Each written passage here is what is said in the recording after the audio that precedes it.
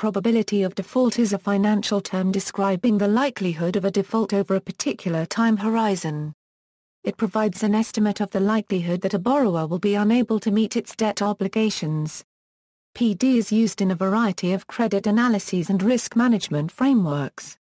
Under Basel II, it is a key parameter used in the calculation of economic capital or regulatory capital for a banking institution. Overview The probability of default is an estimate of the likelihood that the default event will occur. It applies to a particular assessment horizon, usually one year. Credit scores, such as FICO for consumers or bond ratings from S&P, Fitch or Moody's for corporations or governments, typically imply a certain probability of default.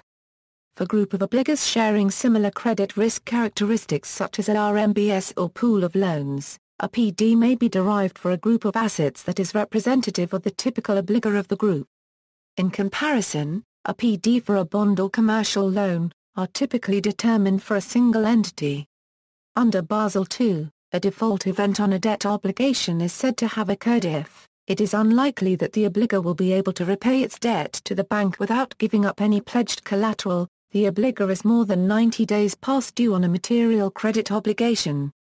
Stressed and unstressed PD, the PD of an obligor not only depends on the risk characteristics of the particular obligor but also the economic environment and the degree to which it affects the obligor. Thus, the information available to estimate PD can be divided into two broad categories, macroeconomic information like house price indices, unemployment, GDP growth rates, etc. This information remains the same for multiple obligors. Obligor-specific information like revenue growth, number of times delinquent in the past six months, etc. This information is specific to a single obligor and can be either static or dynamic in nature. Examples of static characteristics are industry for wholesale loans and origination loan-to-value ratio for retail loans. An unstressed PD is an estimate that the obligor will default over a particular time horizon considering the current macroeconomic as well as obligor-specific information. This implies that if the macroeconomic conditions deteriorate, the PD of an obligor will tend to increase while it will tend to decrease if economic conditions improve. A stressed PD is an estimate that the obligor will default over a particular time horizon considering the current obligor-specific information but considering stressed macroeconomic factors irrespective of the current state of the economy.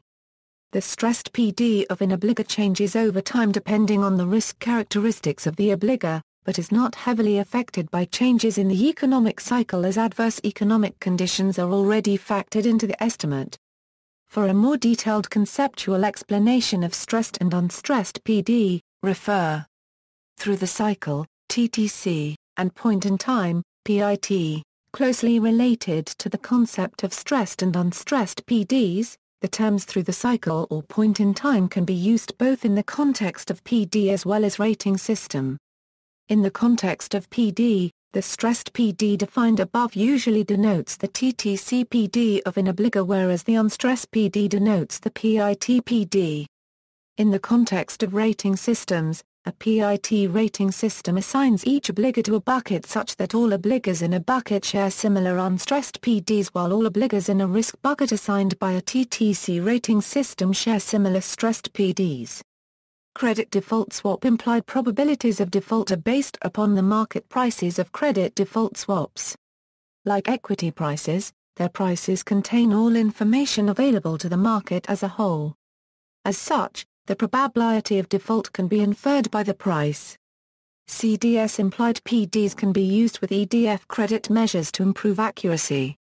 Deriving point in time, PIT, and through the cycle, TTC, PDs, there are alternative approaches for deriving and estimating PIT and TTC PDs. One such framework involves distinguishing PIT and TTCPDs by means of systematic predictable fluctuations in credit conditions, that is by means of AA Euro OE credit Silea Euro.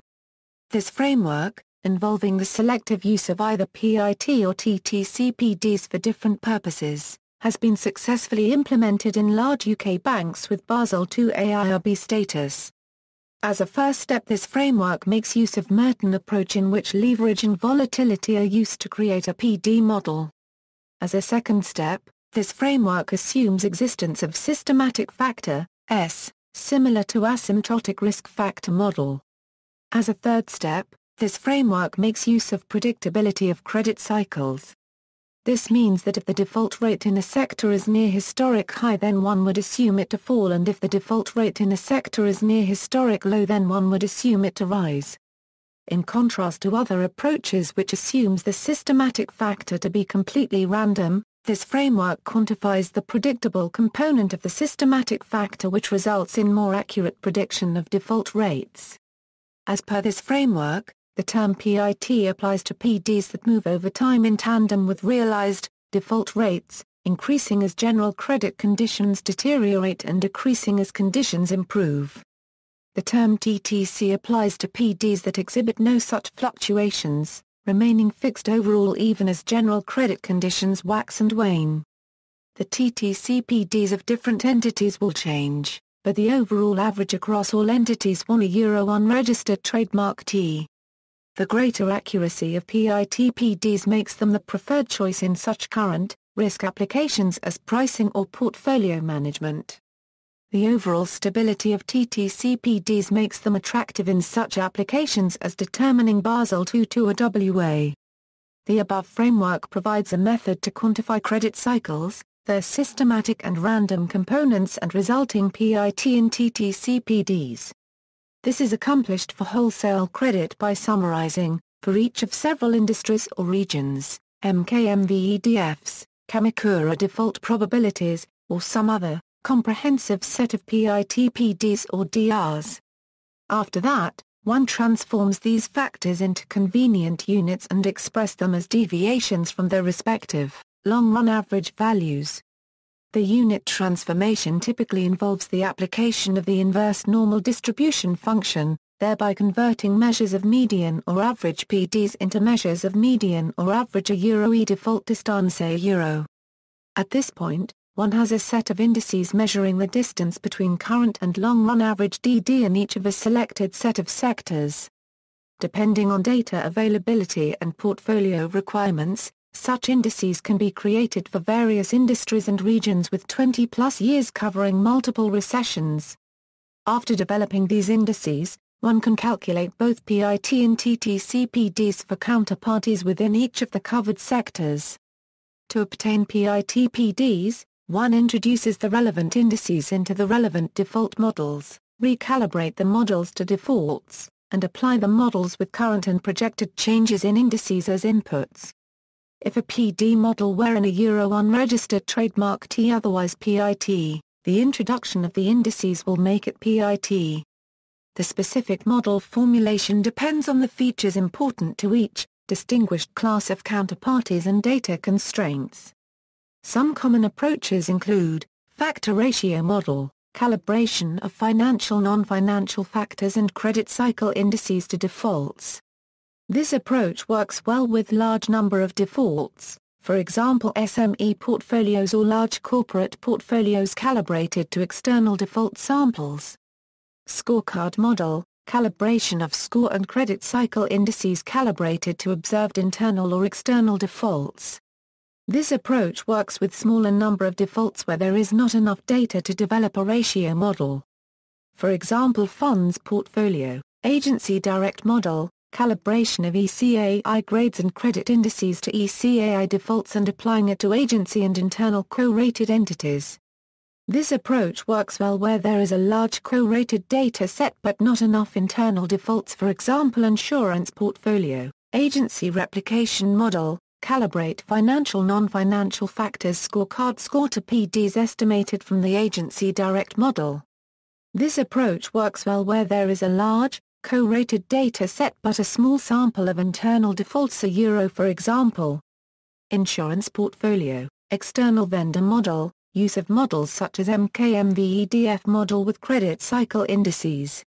At this point, to determine a TTCPD, one follows three steps, converting the PITPD to PITDD, subtracting the credit cycle index from the PITDD, thereby obtaining the TTCDD and, converting the TTCDD to TTCPD.